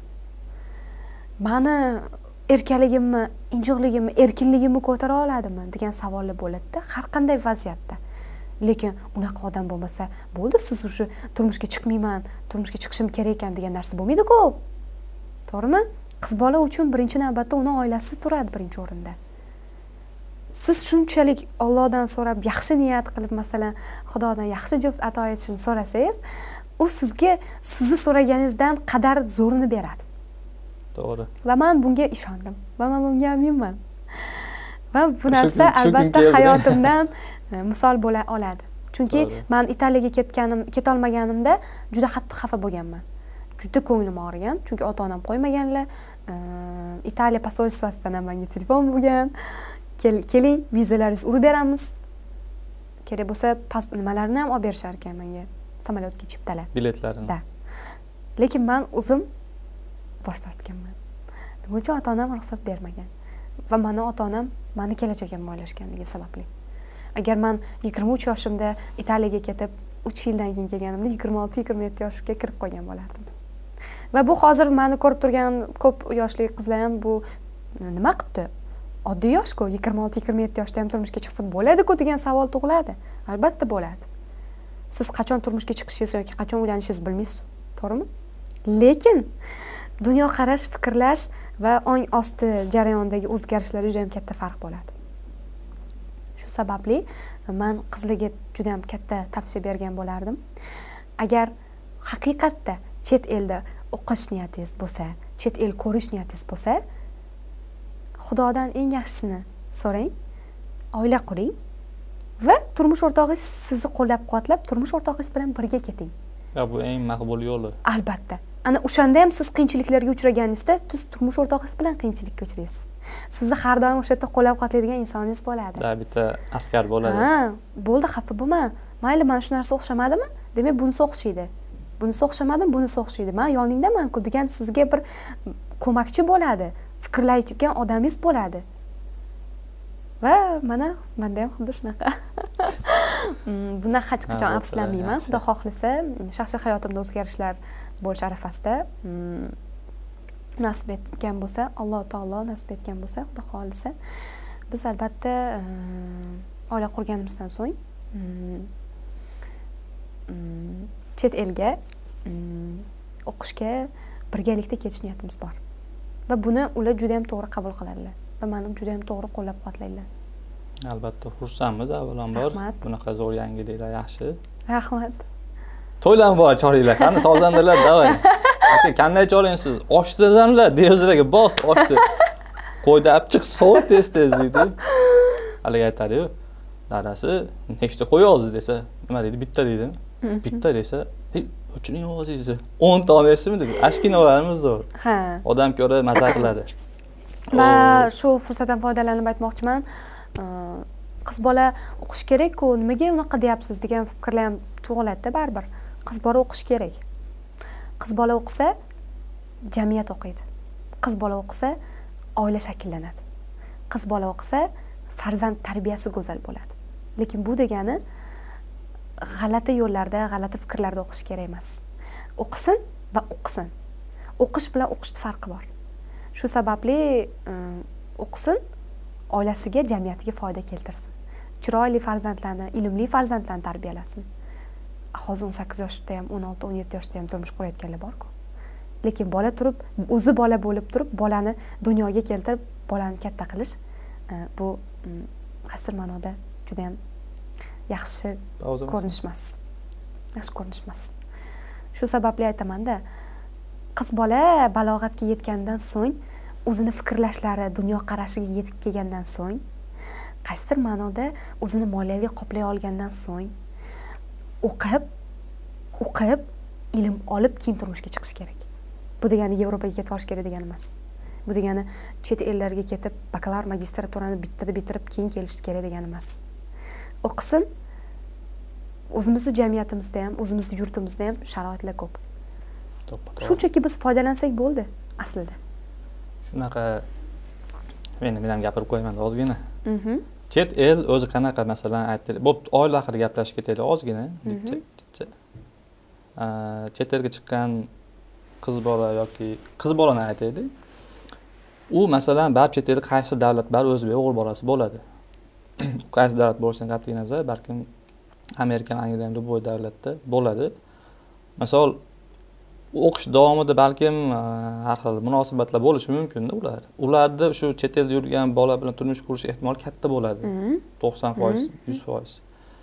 Lekin chet elda yurgan o'g'il bola что biladi chet elda qiz qanaqaligini uni xulq atvori u yurish turishi nima deydi uydagilardan toping o'zimizni milliy esli odobli qizlarimizdan degan. Mhm. demak bu yerda nima deb chiqsa gapirsak bo'ladi. Shu oldingi fikringizga nisbatan qiz bola birinchi o'rinda o'zidan demak yuqori har tomonlama moddiy jihatdan ham fikr aqliy jihatdan yuqori bo'lgan insonni tanlaydi. Shuning uchun yigitlarimiz doimo izlanishda ulardan ya'ni qizlardan o'tib ketish kerakda конечно. Mayli unaqa ja aqlli bo'lib universitetda o'qimagan bo'lsin lekin o'ziga yarasha ilmi bo'lsin ilmi bo'lsin albatta. Bitta sohani egasi professional master shifu hunari bo'lsin shifu deydi. Mhm. shunaqa bo'lsa xuddi shunday. Keyin qiz bola ham misol sovchilikka borganda aytadida misol o'g'lim shunaqa ota ona o'zi aytaylik mexanik. Mhm. lekin oyiga masalan uch ming dollar pul topadi. Mhm. o'zini bir kichik firmasi bor. Masalan shunaqa mashinasi bor. Baribir moddiy jihat kerak bo'ladi yuz foiz. albatta. Har doim masalan dasturxon usti bo'lsa siz tarixdan bir so'zlab bering demaydiyu yoki sevgi muhabbatdan Ha, iborat bir romantika qilib romeo julietdan o'qib bering demaydiyu xuddi shunday. Dasturxonga bir qo'yasan bu narsani bu joyga olib borasan. Ho'p bitta narsa gap ochilib qoldi. Qiziqarli mavzuda. Talabalardan ko'p eshitaman. Tanish kursdosh bolalar viloyatdan hammasi kelishgan Aytishadida shu qiz erga tegib ketib qoldi turmushga chiqib ketib qoldi deb. Jichcha ozginalik unaqa siqilishdan Ha, ozgina. keyin men aytaman o'zing puling bormi deyman. Yo'q pulim yo'q. O'zingga bir biror narsa sotib oldingmi qimmatbaho. Yoki bir uyingdagilar nimadir qilib bera oldingmi yo'q hali qilib bera nimaga siqilyapsan unda bo'pti. Ko'ngling tushibdi agar haqiqatda seni niyating oxirigacha bo'lganda sen harakat qilishing kerak edi. Qiz bola kutib turamiz seni qachon bu bu yaxshi bir ikki ming dollar oylik oladi oylik mendan yuqori bo'ladi shunda men yo qiz bola hozir jo'natish kerakmi senga deb aytaman ularga. Keyin ular turib "Ha, gaping to'g'ri unda sevma. Nima qilmasdan o'qishni bos. O'zingga yarasha agar haqiqatda planingda bitta qiz bo'lsa garchi hozir puling yo'q bo'lsa ham tez tez gazini bos u haligi ortiqcha ishlar harakat qilib yurish kerak masalan uchrashib u bo'lmaydi. Shunday. Plan qilib bo'ldingmi harakat qilib moddiy jihatdan tiklanib ol ana shunda jo'nat. Shunday. Ana shu paytda отказ olishing xuddi vizaga o'xshabdi kamroq bo'ladi отказ olishing. Masalan, vizalarmi да senga amerikanskiy vizalari. Unaqa deny qilishmaydi. Shuning uchun e, talabalar orasida ko'p bu narsa. Munosabat bizda ayniqsa o'zbeklarda unaqa chuqur olmasdan holatga qarab turib da kimnidir ko'ngliga tushsa bu yomon narsa emas lekin uni o'ziga yarasha biz ahkomlarimizga e'tibor bergan holatda harakat qilishi shundagina u o'sha orzusiga yetadi. Shunday. Hali harakat qilmasdan u "Ha, mana qilib ke osmondan tush olma pish og'zimga tush degan narsalarda shuning uchun o'ylayman talabalarimiz har tomonlama kelajakda turmushda ham o'ziga yarasha bilib olganinglar yaxshi va nima desam bo'ladi moddiy jihatdan qo'llab quvvatlanglar pul hozirgi momentda katta kuch qurol. Haligi pul hech narsa demaydiganlar boru pul hech narsa emas ekanda ular pul topib bo'lganda shunda hech narsa bo'lmay qoladi. Mhm. u lekin pul bilan ko'p yaxshi ishlar qilsa bo'ladi. Mhm. lekin pul bilan mehr ola olmaysiz. Lekin pul bilan kimnidir ololmaysiz. ko'nglini ola olmaysiz. Bu bor narsa. To'g'ri pul ko'p narsalarni hal qilishi mumkin. Xarajatlar misolida lekin munosabatlarda emas pulsiz ko'p narsani ham hal qilsa bo'ladi ayniqsa munosabatlarda ikki insonni ikki shaxsni bir biriga bo'lgan munosabatlarida да buni ikkinchi ikkala inson ham bir birini tushunishi kerakda misol ikkinchisi zo'r bo'lib turib birinchisi aqli farosati unchalik yetmaydigan bo'lsa bunda vaziyat chigallashib ketib qoladi o'ziga yarasha momenti bor masalan siz sog'ligingizni sotib ola olmaysiz albatta yoki mana masalan yosh oilalarda oyni o'n beshi yorug' o'n beshi qorong'i bir kun muvaffaqiyat sizda bo'lsa bir kun boshqada bo'ladi bir kun pul sizda bo'lsa bir kun boshqada bo'ladi yosh oilalarni ajrash ajrimlari ham xuddi shunga olib keladi aslida.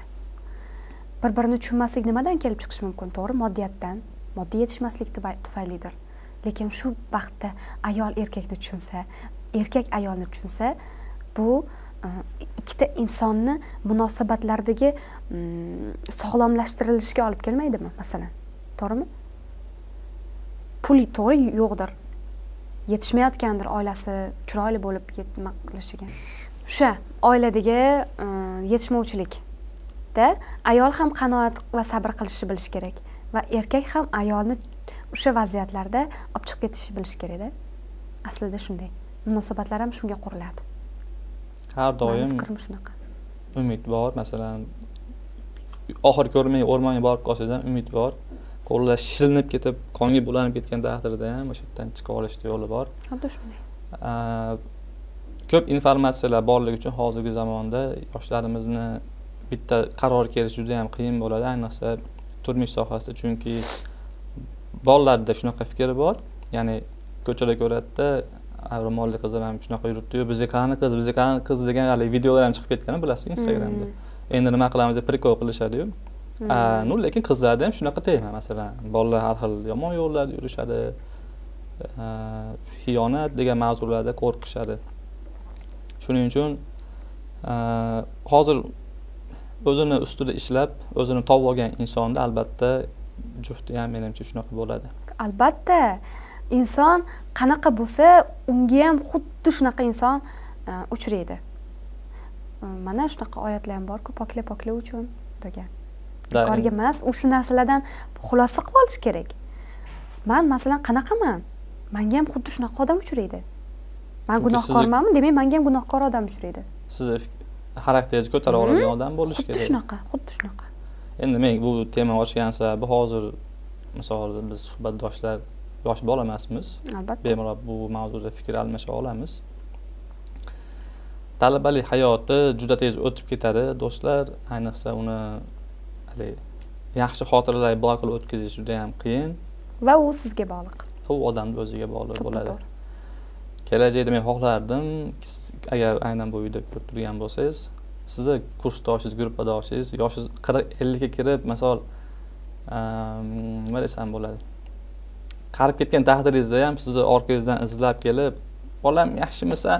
Bolam bolam do'stim yaxshimisan jigarim ahvollaring yaxshi deb ko'rib misol andijondan samarqandga sirdaryodan vodiyga kelib shunaqa holat bo'lsa bu degani talabalik zo'r o'tgan degani. Shuning uchun xuddi shunday. har tomonlama zo'r bo'lishi kerakda ilm o'qish tomonidan va o'sha xotiralar sayohatga chiqib boshqa viloyatlar bu degani klublarga barlarga borib unaqa narsa emas. Ho'p demak testda savollar beraman. Mhm. bunga testda javob berishingiz kerak bo'ladi. Kitob yozgan bo'lganingizda buni nomi nima bo'lar edi? Nafs. Nafs. Zo'r. Agar san'at sohasidan ketmaganingizda sizni qaysi narsa xursand qilgan bo'lardi qaysi kasb psixologiya psixolog hmm, kasb psixologlik hmm. kasbi yoki jurnalistika. Jurnalistika sohalari. Qaysi jihatdan ota ota onangizga beradigan eng yaxshi sovg'angiz hayotingizdagi? Bu nima? Berganmi? Beradigan. Ya'ni butun hayotingizni aytaylik. Sizni ota onangiz eng ko'p xursand qiladigan nima bo'lardi ya'ni farzandini mani yutuqlarim mani baxtim. Man qachonki xursand bo'lsam man uni baxtli bo'lsam ota onam ham xursand bo'ladilar chunki man o'zimdan tinib tinchib ketsam ular ham o'zlari uchun voy mana qizim o'zini e, baxti bilan oilasi bilan bo'lyaptiku tinchku xotirjamku degan narsa bilan kifoyalanadida. Shunaqa. Kelajakda siz haqida tarix yozilganda siz haqingizda nima deyishdan ko'proq xohlagan bo'lardingiz kelajakdami? Hmm. aynan nafs ilmi bo'yicha bizga juda yam ko'p ma'lumotlarni bergan. Juda yam bizga aynan insonni menidagi menlikdan bizlikka o'tadigan kuchni bizga to'plab bergan opa odam ayol shaxs degan fikrlarga kelishlarini juda yam xohlardim. O'zi xarakteringizdan ma'lum. Masalan inson men bitta narsani hurmat qilaman tashqi olamida ham ichki olamida ham va virtual olamda ham mana shu uchta olamda bir xil bo'lgan insonni. Siz shunaqa bir xil odamsiz. Rahmat. Misol e, almanahda ham almanahdan oldin tanish bo'lganmiz siz bilan. Ya'ni bizda shunaqa lider yoshlar o'zi nima desa connection bo'ladiyu. Tanishib tadbirlarda boshqalarda. Shunday. Va bitta o'zimni shaxsiy savolim bor. Baxtlimisiz degan so'z qachondan beri bu so'zni aytasiz? Va nima uchun aynan baxtlimisiz har doim gapingizni boshida baxtlimisiz deb boshlaysiz. Ha. Bunga o'zi nima sabab? Ko'p odamlarni so'zlashuv lug'atida baxt so'zi yo'q. Bilasizmi? Deyarli ishlatishmaydi ha umuman ishlatmaydi. Baxt bu man turmushga chiqsam man uylansam baxtli bo'laman degan narsa emas inson o'zini o'zi xursand qila oladi. Inson o'zini o'zi baxtli qila oladi. Nima uchun insonni yakka o'zi ham baxtli bo'la olmaydi? Bu degani maishiy narsalarga dunyoni e, go'zalliklarga boyilib ketiladigan ma'noda emas. Bu dunyo o'tkinchi to'g'rimi? Siz ham o'lasiz masalan man ham vafot etaman biror kun kelib. Lekin bizda nima qoladi? Biz hozirgi jamiyatga berayotgan yangi ilmlarimiz ma'lumotlarimiz. Informatsiyalarimiz qoladi. Man e, baxt so'zini nimaga odamlarni bilan so'zlashuvimda ishlatdim degan savolga e, javob berganimda har doim aytamanki baxtli odam hech qachon xafa bo'lganda ham xursand bo'lganida ham unga allohga shikoyat qilmaydi. Har doim bir xil bo'ladi. Albatta. Nimaga shunaqa odamlar bor? Nima uchun man e, unda nimadir o'xshamasa xudo nimaga menga shuni bermayapsan? Ber manga ham. Deb anaqa shikoyat qiladida. Shikoyat bu juda yomon narsa aslida. Lekin ba'zan o'ylab qolamizki hayotimizda zo'r kunlar kelib qoladida xudojon rahmat senga o'zingga deb eslamaymiz. Ha? Insonmizda qarang. O'shaning uchun ham man insonlarni hayotiga ehm, go'zallik olib kirish uchun hayotida qandaydir pozitivlik olib kirish uchun baxt so'zini e, ishlatganman va man bu gapim uchun ham juda yam ko'p gap so'zlagan qolganman chunki sanga nima? Mani baxtim baxtlimanmi? Baxtsizmanmi? degan gap so'zlar ham eshitganman. Lekin ko'p odam bu narsani juda yam yaxshi qabul qilishgan. masalan misol bo'ling xafa nimadan xafada? Kelib turib assalomu alaykum baxtlimisiz desa qanaqadir kayfiyat kiradida ichiga. Xuddi shunday. Keyin boshqacha bo'lib qoladi. Ha xuddi shunday. Man e, hozir odatda o'zi yaxshimisiz degan so'zni ishlatmayapman o'zi umuman. E, qayerga borsam? Hmm, assalomu alaykum baxtlimisiz baxtlimisiz baxtlimisiz charchamayapsizmi? Bormisiz? Baxt? Nima u baxt? Deydida odamlar va o'ylanib qoladi. Miya o'ylashni boshlaydi. Iye bu bu qiz bu opa yoki bu qiz singil nima uchun menga bu baxt so'zini ishlatdi demak manda ham bordirki ha? o'ylaydi. O'ylashi uchun fikrlashi uchun man bu so'zni ishlatganman. Odamlarga kerak bu so'z. Shu sababli hozir fikrlash e, so'zlash uslubimga qo'shganman. Hozir mani ishlayotgan joyimga institutimga borsangiz hamma. bir biriga voy yaxshimisan demaydi. Baxtlimisan baxtlimisiz e, demak qorovullardan tortib ishchilargacha ustozlargacha hamma shunaqa va man bunga bundan juda yam xursandman. Bitta oliy ta'lim muassasasida baxt so'zini ularga e, singdira olganimdan albatta inson qayerda bo'lishidan qat'iy nazar insonlarni ko'ngli kayfiyat ularga baxt saodat ulasha olsa bu menimcha eng katta ezgu ishlardan biri. Xuddi shunaqa. Va baxtni odam har qanday vaziyatda har onda his etib yashash kerak. Bu uylanganda yo turmushga chiqqanda emas. To'g'ri. Inson o'zi yakka bo'lsa ham baxtli bo'lishga haqli. Misol o'zi bir qarzga kirib ketgan bo'lsa ham do'stim yaxshimisan desa chotki zo'r men zo'rman deb yurish kerak. Xudoga ishonish kerak. Qarzga kirib ketdimi? Olloh bitta minus tarafdan bitta plyus taraf ham beradi. To'ppa to'g'ri. Shunaqa. Samimiy suhbatlar uchun kattakon rahmat. To'g'risi zo'r bo'lyapti. Ya'ni men networking qilishni yaxshi ko'raman. O'zim lider insonlar bilan tanishishni yaxshi ko'raman to'g'risi top liderlar almanaxiga qabul qilinganimdan keyin o'zim bitta planim bo'lgan. Esingizda bo'lsa katta sahnaga hamma chiqqanu o'zini fikrini bildirib kim u nima ish qiladi Mhm. proyektda men chiqmaganman. Hmm. aytaman bir kun o'zim bitta proyekt qilaman ana shunda ko'rasizlar degan ma'noda aytganman chiqmaganman. Mana shu loyihalardan biri bu talaba podkast. Judayam zo'r loyiha manga yoqqan. Mhm. Mani taklif qilganingizda o'zi birinchi man ko'rdim talaba podkast o'zi nima haqida nima loyiha? Chunki man sizdan ma'lumot so'ramadim agar bilgan bo'lsangiz o'zi nima loyiha demadim qiziqqaningiz ham yo'q. Ha man o'zi youtube orqali ijtimoiy tarmoqlar orqali ko'rib bilib bo'ldim. Chunki aynan talabalarni muammolari unga bo'lgan yechimlar takliflar ertaga qanday bo'lishi mumkin kelajakdagi qanaqa rejalar bo'lishi mumkin yutuqqa erishayotgan yoshlar kimdir kimdirdan ko'rib o'rnak oladi kimdir kimdirnidir ko'rib motivatsiya oladi masalanda. Xuddi shu mavzuda man xursand bo'lganman mani taklif qilganingizdan juda ham xursand bo'lganman va mana keldim hozir mana mm, syomka kattakon. jarayonlarida turibmiz. Ish jarayoni ishingizdan vaqt ajratib kelganingiz uchun biz rosa xursand bo'ldik. Rahmat.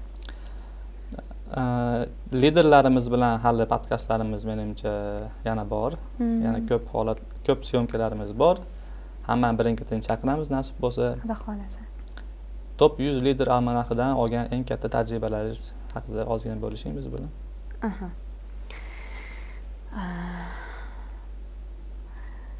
Almanax man o'ylaymanki manga boshqa sohadagi odamlarni o'zim uchun kashf etishni o'rgatgan. Man bitta oyoqda o'zim yakka emas edim va mandanda zo'rlar ham borligini anglashni o'rgatgan. Bu dunyoda bitta man zo'r emasmanku. Kerak bo'lsa IELTSlari yuqori darajada yevropalarni kezib kelgan uh, o'zbekistonda shunchalik zo'r grantlar pulli yutib ketgan talabalar bor edi yoshlar bor edi. Man o'sha yoshlar bilan birgalikda bitta safda bo'lganimda man xursand bo'lganmanda chunki uh, hammaga emas bunaqa yoshlar bilan fikr almashish va bitta safda birga uh, bu loyihada birga ishtirok etish o'zim uchun xulosalar olganman. A man qanaqadir mukofot olib bitta joyga chiqib qolib qotib qolibman mana odam mana shuncha yutuqqa erishibdi. Demak man ham nimadir erishishim kerak nimadirga e, erishishim uchun debocha qilishim kerak degan narsalar bo'lgan. Shu sababli man talaba almanax liderlari hmm, judayam tanishganimdan bu loyihaga qatnashganimdan judayam xursandman. Albatta bu yoshimiz o'tganda ham juda zo'r tarix bo'lib Mm. qoladi. Kitobni ochib ko'rganingizda "Voy, shunaqa bo'lganmanmi degan fikrlar o'tadi hamma insonda xuddi shunday. Talabalik hammaga nasib etishi mumkin lekin uni judayam esda qolarli va havas havas qilish darajasigacha yetib borish menimcha hammaga ham emas. Mhm. ko'p holatlarda men sayohatda bo'laman ya'ni uyimdan toshkentgacha. Sho'pirlar haydovchilar aytishadi "Uka, qayerda o'qigansiz ha shu toshkentda o'zi kallangiz bilan kirganmisiz? Kallam bilan kirmaganman aka o'qib o'rganib kirganman ozgina anaqa askiya qilib qo'yaman. Nechi pul nechta mol sotgansiz deyishadida yani ikkinchi savoldan keyin baribir sal asabingiz buziladi. Aka deyman oldingi paytlar emas hozir studentlar Mm. o'qishadi kelishadi bilimlari bor deb Mm. talabni olib qo'yaman talabalarni ya'ni bizni kattalarda ba'zilarda bor Mm. shunaqa fikr. Baribir pul bilan kirdiyu deb yo'q unaqa emas va bitta narsani bilaman. Har doim inson qaysi natijaga erishganda undan past darajada turuvchi ya'ni o'g'il qizlarimiz havas qilishadi. Masalan siz ham qishloqda katta bo'lgansiz men ham qishlog'imizda bir yili har yilda juda kam sonli o'quvchilar student bo'lishadi. Va bitta tarqab ketadi bilasizmi qishloqda gap so'z bo'lib misol madina bonu toshkentga o'qishga kiribdi vo ko'rganda qulluq bo'lsin tabriklaymiz hamma bilan so'rashib. Shunaqa. Bu ham bitta ne'mat buni tushunish kerak. Umrni eng asosiy ya'ni katta hayotga qadam qo'yish jarayonimiz shu talabaliklar to'g'ri keladi. Men o'zim talabalarni doim yaxshi ko'raman talab tarafini olamanda zo'r bo'lishini xohlayman. Shuning uchun ham bu loyihamiz paydo bo'lgan talaba podkast. To'g'ri kamchiliklarim kamchiliklarim ko'p. Masalan men zo'r savol bera olmasligim mumkin yoki zo'r gapira olmasligim mumkin qanaqadir intriga qila olmasligim mumkin suhbatda lekin men unaqa soxtalik ishni qilmayman. Misol mehmonlar oldindan tayyorlab mana savolga shunaqa javob berasiz demayman. Shunday nima kelsa aytaman tabiiyda va bu meni yoshimga nisbatan hozir to'g'ri deb bilaman chunki men bir olim inson emasman. Bir yigirma bitta ham kitob yozmaganman masalan. To'g'risida lekin yo bu zo'r bo'ldi va hamma narsa tabiiy bo'lib kelayotgani ham bu zo'r jarayon. Man ham xursand bo'ldim hozir zo'r savollardan. Bu ham ilmda qarang. Yangi ilmlar paydo bo'ladi. Har bir gapirayotgan gapingizdan o'zingiz xulosa qilishni boshlaysiz. Man aytdim unaqa gapirdim. Qanday gapirdim? Rostdan shu to'g'ri gapirdimmi? Yoki noto'g'ri gapirdimmi? Agar to'g'ri gapirgan bo'lsam chunki mani orqamda mani ko'radigan odamlar qancha masalan? Videolarimizni ko'radigan odamlar qancha? Bizani orqamizdan erishadigan odamlar ergashadigan odamlar qancha shu odamlarni ergashtira oladigan gaplar gapirdikmi? Yoki bo'lmadimi? Manfaatli bo'ldimi? Bo'lmadimi degan savollar baribir qiynaydida hammamizni. Shu sababli ham manga yoqqan bu podkast xudo xohlasa biz bilan bo'lgan intervyu biz bilan bo'lgan podkast zo'r chiqadi. Eng zo'ri bo'ladi. xudo xohlasa. Ho'p bitta narsa men bitta kino ko'rganman. Kino nomi kollerning oltin kuymalari degan hind kinosi judayam zo'r kino hmm. akam tavsiya qilgan. Hmm. ona bo'ladi turmush o'rtoq tashlab ketgan bo'ladi hmm. eri bitta farzandi bo'ladi o'g'il bola farzandiga motivatsiya bera oladi masalan hozir to'g'ri o'g'lim yegan nonimiz yo'q lekin sen harakat qilsang bo'ladi shu narsa. Sen dunyoda eng boy bo'lasan hindistonda eng boy bo'lasan deganda. Shunda onasi zak havo bo'ladi hmm. sovuqda endi shunda vafot etadi. Hmm. ya'ni immunitet pasayib ketgan bo'ladi bunaqa zak yerda yashagan vafot etadi. Shunda o'g'li eslaydi onam shunaqa degan deb. Shu eng boy bo'ladi hindistonda. Ya'ni kollar degan bitta katta oltin qazish e, zavodi bo'ladi. Shunda hamma oltinlarni egallab oladi. Hmm. va oxirida u bola ham o'ladi. Aytgan onasi sen bitta bo'lishing kerak hmm. eng boyi. Undan sendan keyin boy bo'lmasligi kerak deydida shunda nima qiladi aytaymi haligi uni ismi anaqa bo'ladi.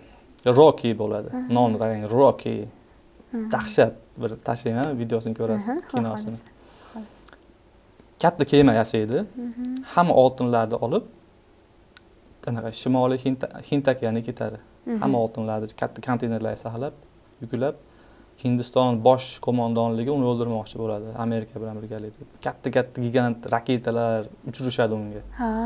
Haligi zavod bombardimon qilinadi lekin hali qochib ketgan bo'ladi. Qidirishadi qarasa o'sha hind okeanidagi beshta katta kruiz oldi kelayotgan bo'ladi hindlarni oldiga ana shu qo'mondonni oldiga. So men sendan qo'rqmayman nima qilsang qil. Lekin pullarimni bermayman degan ma'noda. Shunda bombardimon qilib yuborishadi uni ham oxiri puli bilan hind akaga cho'kib ketadi. Qarang dahshat kino. Shundan olgan xulosam onalarimiz demak doim bizni eng qadrli insonlarimiz ayollarimizni har doim ko'kka ko'tarishimiz kerak. Opa singillarimiz albatta. yaqin insonlarimiz onalarimiz. Shuning uchun sizni opa singillarimiz ota onalarga bo'lgan fikringiz aynan qizlar ta'limi bo'yicha. Ular ko'rishib nimadir olishadi? har doim aytaman qiz bola o'qishi kerak. Lekin feminizm sifatida shakllanishi kerak emas. Feminist sifatida. Hozir ijtimoiy tarmoqlarga o'zi umuman tarmoqlarda faol bo'lib kelayotgan qizlar juda yam ko'payib ketdi. Bloger bo'ladimi? Tadbirlarda faol ishtirok etadigan qizlar bo'ladimi? Juda yam ko'p. Bu juda yam yaxshi. Ammo buni oldini olish kerak. Ko'p qizlar e, shu kabi forum tadbirlarda faol ishtirok etish natijasida o'zini yuqori bahola baholab boradida bu esa o'zini minusga olib keladi aslida. Yutuqqa erishgisi keladi mayli erishsin. Davlat mukofotlari olishgisi keladi olgisi keladi. Intervyular bergisi keladi. Lekin oxiri nima bilan tugaydi? Oxiri biladi işte u narsalar hech qanaqa bir qiymat bermasligini. Albatta. Bittasi manmanmi? Mana bittasi madina bor. Hozir o'zini gaplashdik podkastdan oldin. Ha. Yo'q foydasi yo'q dedi menga. Rostdan foydasi yo'q. To'g'ri sizni kimlardir ko'rishi mumkin. Kimlarnidir orasida звезда bo'lishingiz mumkin. Да u ana madina buvani kelyapti. Ha bu yaxshi. Lekin oxiri nima bilan tugaydi? So'nggi nima bilan tugaydi? Undan ko'ra ilm olsin o'qisin til o'rgansin. Til o'rgangan insonga shunday onlayn o'tirib ham ta'lim berish mumkinku. Onlayn o'tirib ham uyda o'tirsa ham qishloqda bo'lib turib ha? Hech qanaqa bir shaharga chiqib ha? Wi-fi pul topsa bo'ladiku masalan. Да oddiy o'zini telefonda moliyaviy ehtiyojlari uchun o'zini обновление qilsa bo'ladiku man rosa ham ko'p aytamanda man davlat mukofoti olib tadbirlarda faol bo'lib yutuqlarga erishib man unaqa ko'p foyda topmaganman va mani shoxim ham chiqmagan. Va vazirni o'g'liga kimgadir kattakonlarga turmushga chiqmaganman. Borda shunaqa qizlarimiz orasida ertaga man zo'r bo'lsam manga yaxshi joydan keladi. Man zo'r o'qishim kerak zo'r bo'lib faol bo'lishim kerak manga o'sha o'zim faol bo'lgan joyimdan keladi degan. Oqotdagi faollik kerak emas hech qachon faollik sizga bitta narsani olib yoki berib qo'ymaydi. To'g'ri yaxshi kuruklar ko'rishingiz mumkin yaxshi insonlar bilan tanishishingiz mumkin. Bu sizga sizni fikrlashingizni o'stiradigan qaysidir ma'nodagi mm, etaplar bo'lishi mumkin. Lekin siz ilm olmasangiz kitob o'qimasangiz yangi e, nima deydi tillar o'rganmasangiz bu narsalarni sizga foydasi yo'q. Mana man o'zimdan qiyos. Hech qachon qizlarga aytgan bo'lardimki ilm olishligini. Ilm olganda ham qanday ilmlar? Bugungi kuni shu yurtda yashayotgani va oxirati uchun dini uchun foydali bo'ladigan ilmlar olishini man so'rab qolardim. Chunki borar joyimiz tuproq. Qachondir vafot etamiz qachondir o'lamiz hammamiz. Bu dunyoda hech kim abadiy yashamaydiku. Bu dunyo o'tkinchi dunyoku. Shu narsani ko'p insonlar tushunmaydi. Ko'p qizlar tushunmaydi borar joyimiz faqat ollohni jamoliku uni ko'rishni hammamiz istaymizku to'g'rimi shunaqa xuddi shu narsa. To'g'ri man ham faolman jamiyatda faol qizman yutuqlarga erishganman lekin bu menga umuman foyda bermagan. Hamma taniydi hamma bilan yaxshi munosabatlarda bo'lishim mumkin lekin menga hech kim yangi ilm berib qo'ymagan va menga mana bu pulni ol sanga ertaga kerak bo'ladi deb qo'ymagan ilm olish uchun avvalo odam o'zini to'g'irlashi kerak. Yaxshi niyatda yangi ilmlar o'rganishi kerak til o'rganishi kerak. Til o'rgansin. Tilsiz biror bir tilni bilmasdan turib hech qanday bir yutuqqa erisha olmaydi odam. Va feminizmga qarshiman. Rahmat fikrlar uchun. Inson o'zini topib olish uchun bitta zo'r yo'li bor. Shunday telefon hamma narsani yig'ishtirib turib sal chekkaroq joylarga misol qishloqdan bo'lsa qishloqqa borib bir chekka joyga ko'ldi bo'yi o'tirib bitta issiq kofe damlab ichib te- soylarga suvlarga qarab o'tirsa уже topib oladi. Bizda manavi borda manavi manavi borda temir taxta buni buni ishlatish bilan ishlatishni farqi bor. Internetda ham xuddi shunaqada ijtimoiy tarmoqlarda ham. Bitta instagramga kiramiz bitta ko'rib chiqay deymiz lekin bir soat vaqtimiz ketib qoladi. Bilmaysiz. Bitta video ko'rishimiz orqali mana shunday fit qilib o'tkazaveramiz o'tkazaveramiz. Judayam vaqtimiz o'tdi olib qo'yganini bilmay qolamizda va insonni ichkisida ichidagi nafs. Nafs juda ko'p narsaga qodir. Ozgina to'xtab zerikib yana ko'r yana qil yana mana uni eshit yana mana uni qil degan narsa orqali insonni o'ziga jalb qilib oladi. Ya'ni biz bu narsa bilan me'yor qilishimiz kerak kerakli foydali ilmlar o'rgangan holatda. Ya'ni bu bog'lab qo'yyaptilar ko'p momentlarimiz. Shuning uchun o'zimizni sal haligi magnit holatda olib qochishimiz kerak. Demak biz eng asosiy joyimizga yetib keldik. O'zingizni iqtibossiz iqtibossiz yozib qoldirishingiz mumkin. Biz buni keyin o'qib o'z bizga aytib berasiz. Manda endi iqtibos deganda mana bunaqa iqtibos yozolmaymanda mani bitta katta hikoyam borda. Shu hikoyani kichraytirib nafs ilmi haqida deb shunday yozib qo'ysam bo'ladimiki man bunga gapirib bera olaman? Bo'ladi zo'r bo'ladi.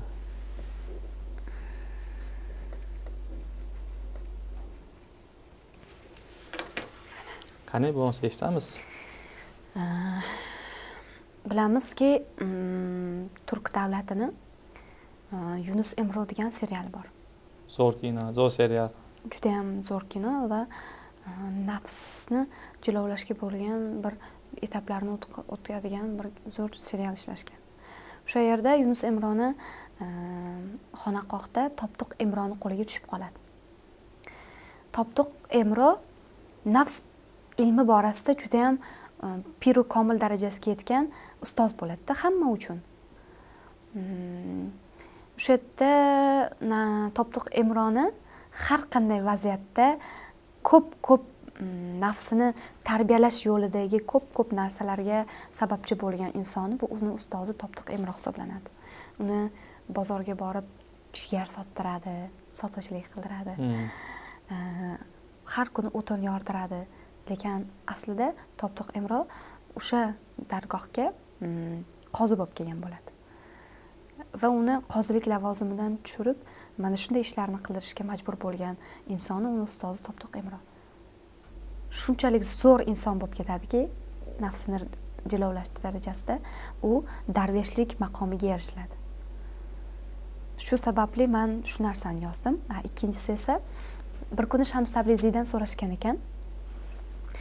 Shuncha vaqt o'qidingiz ilmli bo'ldingiz. Nimalarni o'rgandingiz yana deb aytishganda so'rashganda haddimni degan ekan. Inson har qanday vaziyatda kim bilan munosabatda muloqotda bo'lmasin o'zini haddini bilishi kerak chegarasini bilishi kerak. Hech qachon birovni boshqa odamni chegarasiga o'tmaslik kerak va o'zini boshqa odamni ham o'tkazmaslik kerak va haddini har qanday vaziyatda anglab bilib yurish kerak. Erkalik ham eva bilan to'g'rimi? To'g'ri. Injiqlik ham eva bilan yoki qaysarlik ham eva bilan. Urush janjal ham har qanday vaziyatda har qanday minus narsalar eva bilan. Shu taraflama man haddimni deb javob bergan ekan demak inson har qanday vaziyatda o'zini haddini bilib yashash kerak. Mani xulosalarim fikrlarim shulardan iborat. Judayam foydali iqtibos bo'ldi men uchun. Rahmat loyihamiz rivojlangan paytida yana balkim qancha yil ketishini bilmayman balkim bir yil ikki yildir. Albatta bular xudo xohlasa tashkillashtiramiz. Xudo xohlasa xudo xohlasa. Yana keyinchalik sizlarni magistratura bosqichini chet elda o'q- o'qiyman deb aytdingiz nasib bo'lsa shu davlatlarda ham birgalikda podkast olish nasib qilsin yangicha fikrlar yangicha g'oyalar bilan. Talab podkast loyihasiga o'zingizni tilaklaringizni bildirib qolasiz. Mhm. va bizda kichkina sovg'amiz bor. Shunday o'ng qo'lingizni bunday qilingda sizga bu. To'g'risi meni joyim yetdi o'zi qarasam hozir bu yoqda yo'q ekan. Rahmat. Ja unaqa Oh, luxury sovg'a deb o'ylamayman lekin sovg'ani katta kichik bo'lmaydi. Eng muhimi e'tibor. Esdalik uchun. Rahmat. Ho'p e, man birinchi navbatda mm, ustozlarimga ota onamga va mani qo'llab quvvatlab kelayotgan e, e, yaqin insonlarimga bu bo'lajak turmush o'rtog'imga o'z minnatdorchiligimni bildirmoqchiman. E, talaba podkast loyihasiga mani taklif etganingiz uchun sizga o'zim minnatdorchiligimni bildiraman. Loyihani youtube orqali ko'rib chiqdim. Mm, manga juda yam yoqqan. Haqiqatda dolzarb mavzularni olib chiqadigan va haqiqatda yaxshi diskussionga sababchi bo'ladigan bitta yangi loyihalardan biri. Uh, loyihani ishiga omad tilayman Э, loyihada mana ko'rib turibmiz shu chiroq ustalari joy masalan э, kamera э, tasvirchilar barchalari qo'llab quvvatlaganliklari sababli ziyo forum ta'lim tarbiyani rivojlantirish fondiga barcha barchalarga o'z minnatdorchiligimni bildiraman. O'ziz aytganingizdek xudo xohlasa albatta mana shu e, podkastni keyingi sonlarida uh, nasib qilgan bo'lsa mm, birgalikda yevropalarda mani oilam bilan birgalikda podkastlar o'tkazish nasib qilsin. Oilaviy podkastlar. Uh, albatta xudo xohlasa va mani kuzatib turgan barcha do'stlarimga o'rtoqlarimga qizlarga aytmoqchimanki o'qing o'zingizni ustingizda ishlang. Internet ijtimoiy tarmoqlar orqali vaqtingizni bekor sarflamang. Qachonki inson o'zini vaqtini to'g'ri taqsimlay olishni bilganida u bitta yutuqqa bitta qadamni bosgan bo'lar ekan shu sababli ham har bir insonni o'zini ustida ishlab har qanday vaziyatda xafa bo'ladimi xursand bo'ladimi yaxshilik qilib qabul qilishliklarini so'rab qolaman va har biringiz sevgi va mehr muhabbat og'ushida bo'lib yashashingizni tilab qolaman. Rahmat. Oxirida baxtlimisiz deb qo'yamiz. Baxtlimisiz rahmat juda yam ajoyib suhbat bo'ldi salomat bo'ling kelasi ishlarga yangi yangiliklarga. Xudo xohlasa. Nima deymiz sizga ham baxt tilaymiz omad tilaymiz. Doimo ota onangizni o'ylagan ko'zlagan farzand bo'lib yaxshi yutuqlarga erishib yuring.